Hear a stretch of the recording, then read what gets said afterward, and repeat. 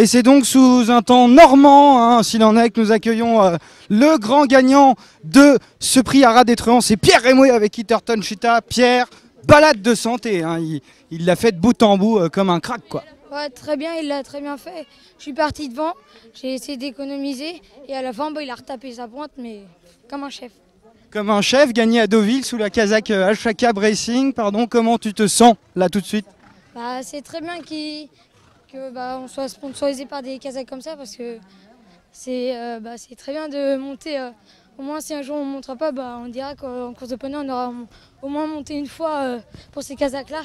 T'es prêt à signer un contrat là, c'est bon? Bah, J'espère.